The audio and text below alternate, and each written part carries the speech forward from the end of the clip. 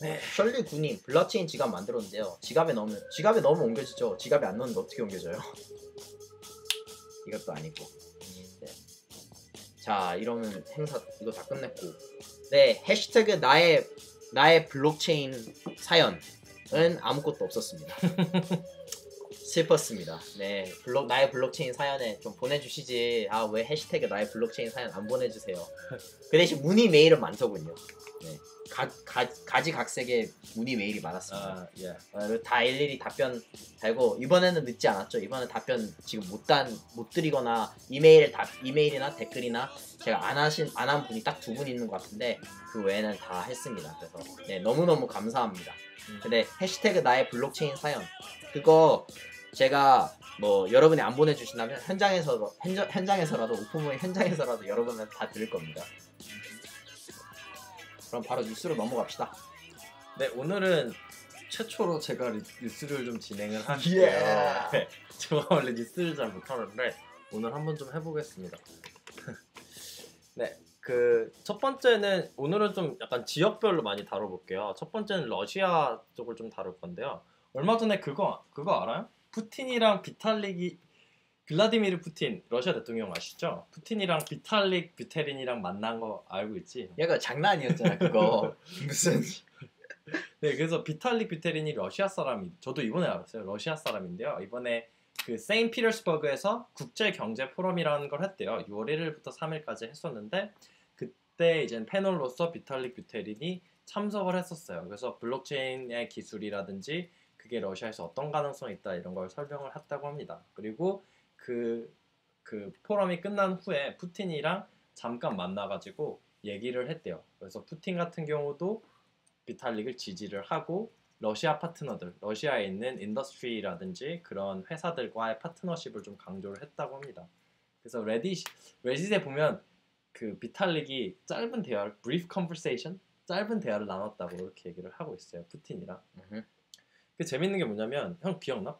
피- 러시아가 엄청 비트코인에 적대적이었었거든요. 어 맞아 엄청 네, 적대적이었어 정말 적대적이었어요. 어느 정도로 적대적이었었냐면 2016년 3월에는 러시아에서 어떤 법안이 있었냐면 암호화 화폐를 발행하잖아요. 그러면은 7년 동안 감옥에 간 그럼 진짜 비트코인 클라이언트 포크 딱 했다가 감옥 가는 거잖아 그치 아. 이론적으로는 어. 그래서 그 정도로 이제는 러시아에서는 빡세게 규제를 했었는데 현재는 블록체인 기술에 대해서 상당히 이제 호의적인 태도를 많이 갖고 있다고 얘기를 합니다. 음. 그래서 그거와 더불어 가지고 이번에 러시아 중앙은행에서는 암호화 화폐, 크립토커런시를 디지털 자산으로 인정하려는 움직임이 있다고 합니다. 음. 그래서 이번에 러시아 의회에서 청문회를 했대. 러시아 음. 의회에서 청문회를 했는데 그때 러시아 중앙은행의 데퓨티 가버너, 그러니까 부은행장인 올가 이름이 이상해. 올가 스코로보 가토바 이름이 너무 이상한데요. 중앙은행 부은행장이 6월 초에 관련 법안이 이제 러시아 의회에 제출을 하겠다라고 오케이. 시사를 했다니까 오케이. 아마 조만간 이게 결과가 어떻게 될지 나올 것 같습니다. 그리고 이거랑 덧붙여가지고 이 사람이 또 뭘 했었냐면 러시아가 국가 차원의 암호 화폐를 개발을 해야겠다. 음. 그러니까 국- 러시아 그 완전히 국가 피아 커런시를 아예 암호화 화폐로 만들어야겠다라는 음. 얘기를 했었어요. 그래서 상당히 러시아에서는 어, 예전에는 정말로 빡세게 규제를 했었는데 현재는 좀 더 규제가 좀 더 어떻게 보면 호의적인 방향으로 나아가고 있다 음. 이렇게 이해를 할 수 있을 것 같아요. 근데 진짜 정신이 없어 이거 팍팍 변하니까 나라들이 그 맞아. 태세 자체가 맞아 맞아 맞아. 어. 그리고 장 2, 2월 달에 있잖아요. 2017년 2월 달에는 드미트리 메드베예브 총리도 얘는 다 이름이 다. 그, 그 사람도 이제는 비트코인 자체가 엄청난 영향력을 끼칠 거다 이렇게 얘기를 하고 어, 상당히 좀 호의적인 입장을 많이 보여주고 있습니다. 그래서 러시아에서도 어떻게 될지 좀 궁금하고요. 앞으로. 네. 어, 잠시만요. 그 두 번째는 이제 중국 관련인 건데요. 중국에서는 큰 게 이번에 다 아마 다 아시겠죠? 다 아실 텐데 이제 중국 3대 거래소가 있죠. 음. 후오비랑 OK코인이랑 BTC 차이나에서 어, 지난 2월 달에 약간 자본 유출 우려가 있었잖아요. 그래서 자본 유출 우려가 있어가지고 출금을 다 금지를 시켰었잖아요. 근데 이제는 4개월 만에 인출을 다시 재개를 하게 해줬고 그래서 보면 후오비는 뭐 50비트코인 OK 코인이랑 BTC 차이나는 10비트코인 1일 한도를 이렇게 풀어줬다고 하네요. 그래서 요즘에 또 화두가 되고 있는 게 이제 자금 세탁 방지법이라든지 약간 고객의 신분을 확인하는 그러한 표준 절차가 마련되지 않아, 않아서 이런 곤혹을 좀 많이 치른 것 같은데 어, 이런 표준을 마련해서 이제 다시 거래를 재개한다라는 얘기가 있습니다. 음흠. 거래를 재개했죠. 예. 그다음에 또 중요한 게 요즘 ICO, ICO 관련해서 규제가 엄청 없죠. 지금. 너무 없지. 어, 진짜 몇 초 만에 막 진짜 엄청나게 많이 벌고 사람들이 엄청나게 많은 돈을 하고 이러는데 전반적으로 지금 얼마 전에 뉴욕에서 컨센서스라고 그게 아마 제일 큰가? 가장 뭐 유명한 것 중에서 한 컨센서스 네. 2017. 네, 컨센서스라는 이제는 어떻게 보면 큰 컨퍼런스가 있었어요. 근데 거기서 가장 중요했던 이제 화두가 됐던 문제가 ICO의 적법성. 음. 그러니까 ICO가 이게 적법한 절차를 따르는 건지, 이 ICO에 대한 투자자에 대한 보호는 어떻게 할 건지 이런 것들이 가장 메이저한, 가장 주요한 이제는 안건 중 하나였다고 그래요. 네, 그래서 중국 같은 경우도 중국 중앙은행이라든지 중국에서도 이제 ICO 관련 규제를 좀 만들려고 한다는. 빠르네. 진짜 빠르네. 중국은. 음, 음. 여기에선 최고인 이거 세계 최초 아니야? ICO 규제는 ICO? 거의 엄청 빠른 거로 알고 ICO 근데 규제는 좀 몇 개 있는 것 같아. 그러니까 미국 같은 데서는 좀 얘기가 많이 나오고 있는 것 같고. 음, 음. 어. 근데 그거를 먼저 시행을 하고 그거를 실천으로 옮기는 데 있어가지고는 아마 근데 중국이 좀 빠를 수 있겠지. 음. 솔직히 ICO 관련해서 미국에서 청문회도 한다고 들은 것 같은데. 음. 약간 네, 그렇죠. 그래서 중국 같은 경우도 가보신 분들이 많이 얘기를 하는데 정말로 이제는 그 발전 속도라든지 그게 너무 빠르고 규제 같은 것도 좀 열려 있는 측면이 많다고 해요. 그래서 우리나라랑 비교할 수 없을 정도로 진짜 빨리 진행이 되고 있는 것 같습니다.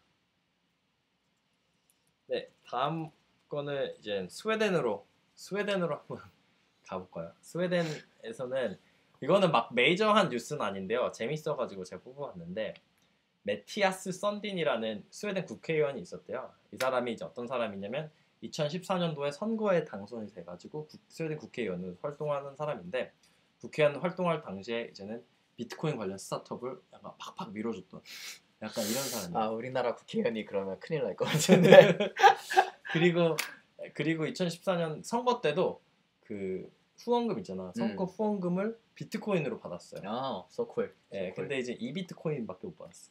아 그래도 뭐, 2014년이니까 한 몇십, 40, 50만 원도 안 됐을 것 같아요. 그래도 어마어마하게 뭐 네. 진보된 성향을 보이시는 그런 분이신 것 같아요 네, 그쵸. 그래서 이제는 이 사람이 근데 국회의원직을 하다가 지금의 스웨덴 최대 비트코인 거래소가 BTCX라는 데가 있대요.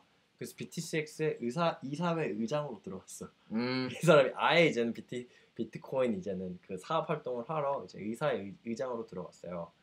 그래서 이제 좀 재밌는 것 같고 이 사람 얘기한 것 중 하나가 이제는 자기가 관심 있는 거는 어떤 옛날 같은 경우는 어떤 특정 중앙기관이라든지 이런 데가 너무 힘이 세잖아. 그러니까 이, 이쪽에 몰려 있는 권력을 일반 사람들한테 나눠주는 거에 자기는 관심이 있었다. 그래 그래서 자기는 정치를 한 처음에 시작한 이유도 그 중앙화된 권력을 일반 사람들에게 분산화된 방식으로 나눠주는 것에 관심이 있어서 정치를 처음에 시작을 하- 하셨다고 해요. 음.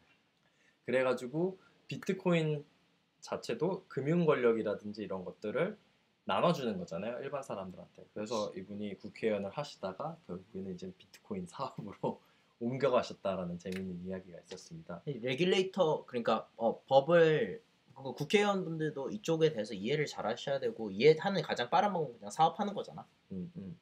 혹시 이걸 보고 계신 국회의원분들이 있으시다면 정부 관계자분들 인터뷰하고 싶습니다. 진짜.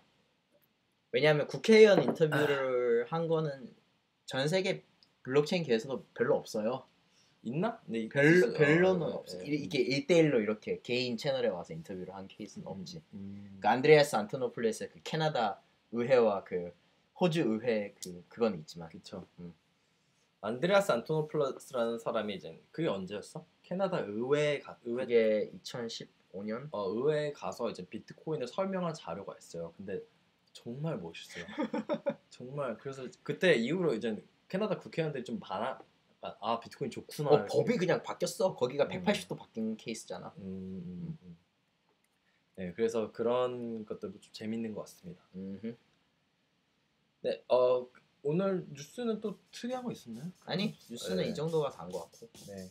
뭐 GPU가 엄청 많이 모자라다 이런 얘기 많더라고요. 아 그거는 뭐 지금 전 세계에서 끌고 모으고 있으니까. 예. 여러분 근데 이더리움 난이도 최고의 난이도 올랐다는데 올라서 하기 힘들대. 어, 최고로 하기 힘들다는데 GPU 이제는 GPU 팔 타이밍 아닌가 이제 슬슬 빙하기 폭탄이 이제 빙하기 언제지? 이제 시작이 됐지. 그래서 갑자기 난이도가 힘들어졌지. 어, 일반적으로 하루에 그 최고라던 양에서 반으로 뚝 줄었대. 어. 재성 재성님 3만 원 말고 맛있는 거 사들고 가도 돼요? 어, 아, 나형 오세요. 아, 했어. 뭐가 아, 이 배, 배유 배윤호 호배윤님 안 됩니다. 백텀이 올랐죠. 네. 그래도 뭐 오르도 올라도 똑같고 내려도 똑같고 다 같습니다. 계속 오르긴 하네 진짜. 많이 올랐겠다. 그, 네. 아 가격 안 물고 그래.